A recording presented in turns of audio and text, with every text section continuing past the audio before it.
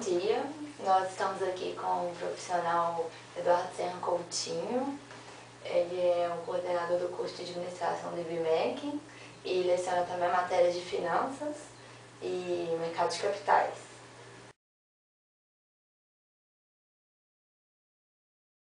Certo?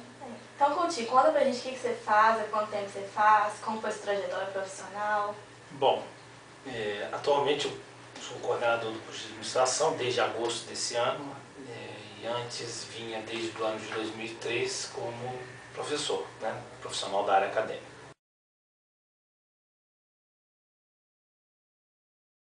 Por que você mudou de profissão? Bom, a história é a seguinte, eu tinha um cargo público né, no, no governo federal, para o qual prestei concurso em 1994, é, que era uma alternativa viável na época para quem havia acabado de sair da faculdade com diploma de economista. E foi a alternativa que eu encontrei na época para prover o meu sustento, afinal de contas eu precisava cuidar da minha vida. É, me parecia uma boa oportunidade, uma vez que era um órgão público federal ligado à área de economia, que é o Banco Central do Brasil. Entretanto, a vida lá dentro, para mim, não era muito agradável, embora eu tivesse uma série de benefícios, que é um bom salário, a estabilidade no emprego, aposentadoria integral garantida, é, horário para entrar, horário exato para sair, não levava serviço para casa, não tinha nenhum tipo de possibilidade de ter problemas nos finais de semana relacionados é, ao trabalho. Tudo isso são benefícios. Entretanto, a rotina, para mim, lá, era muito desagradável, porque a atividade não me agradava. Eu tinha alguns benefícios que, àquela altura, não compensavam o desgaste emocional de ter que sair todo dia para trabalhar. Né? Eu saía para trabalhar a jornada de trabalho lá era entre 9 e 18 e 30, né? eu, então eu acordava não muito cedo para ir trabalhar. E, apesar disso, né, era cansativo levantar todo dia, ter que me preparar para ir para o trabalho. Então chegou um momento que eu resolvi, não, se eu continuar desse jeito eu vou ficar bem aposentado, porém bem infeliz. Né? Então resolvi traçar outro caminho para mim. Como que foi essa transição de carreira?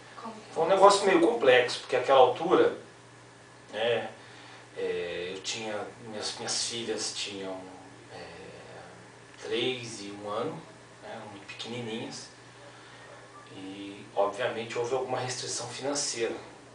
Então eu avaliei e cheguei à conclusão de que se eu não fizesse aquilo naquele momento, mais à frente seria impossível.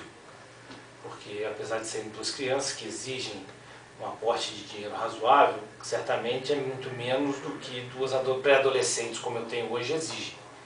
Né? Então, eu falei, ou eu faço agora ou não faço. Mais mulher, né? né? Exatamente. Aí organizei a minha vida financeira e, fui.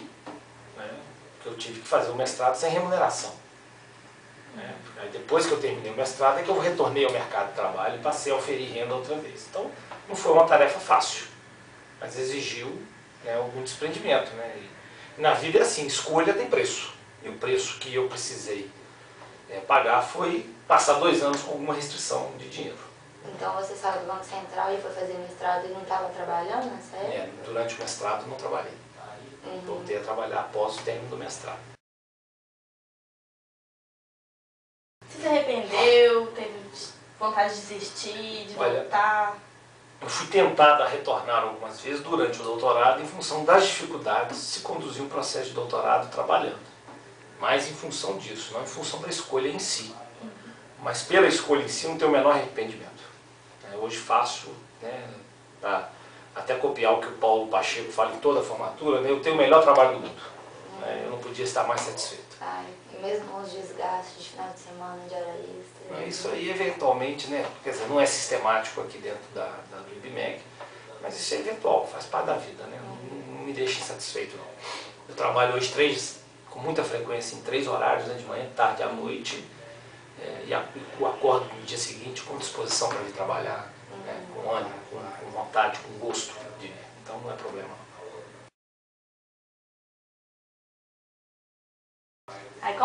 concilia trabalho, saúde, família, Bom, trabalhando três, três aí Eu sempre, sempre é, fiz exercício físico, né?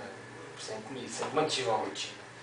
E o tempo que eu dedico é, às minhas filhas, eu sempre mantenho isso, quer dizer, eu mantenho contato diário com elas. Eu ligo para elas duas, três vezes por dia, eu encontro com elas todo dia, se posso, se não posso, eu mantenho encontros regulares, finais de semana eu, que, eu, que estão por minha conta, eu, eu me dedico ao tempo, tempo integralmente a elas, enfim, eu mantenho o contato. Mesmo porque vocês sabem mais tanto quanto eu, né? Que daqui a pouquinho, né?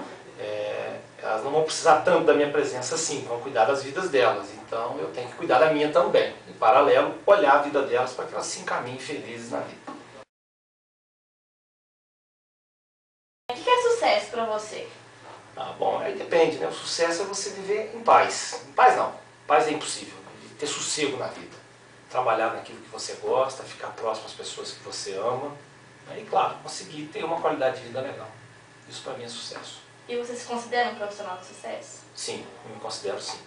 É, evidentemente que eu ando um passo de cada vez sobre esse aspecto, né? Eu não tenho um planejamento exato do que vai acontecer na minha, lá no futuro da minha carreira, mas considerando que eu fiz duas, em 17 anos de vida profissional, eu construí duas carreiras profissionais, eu quero crer que eu sou um profissional de sucesso sim.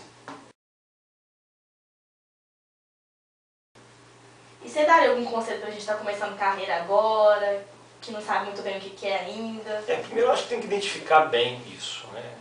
sem romantismo.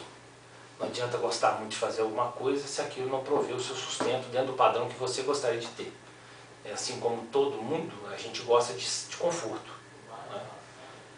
Né? Maioria das pessoas quer ter um bem-estar elevado. Para você ter bem-estar elevado, isso passa necessariamente por ter um padrão financeiro de vida elevado. Então você tem que tentar conciliar as duas coisas esse objetivo e, claro, fazendo alguma coisa que não tenha nenhum tipo de, de conflito grave com as coisas nas quais você acredita. É, porque não adianta você ter um padrão de vida elevado, transgredindo a lei, por exemplo. Não adianta você ter um padrão de vida elevado se a maneira como as coisas se desenrolam organicamente dentro de você não estão legais. Né? O meu caso era esse. Né? Levantar às oito e meia da manhã, oito horas da manhã, cansado para ir trabalhar, significa que tem alguma coisa muito errada. Então não importa o dinheiro no final do mês. Ah, e a nossa última pergunta, Coutinho, é qual que é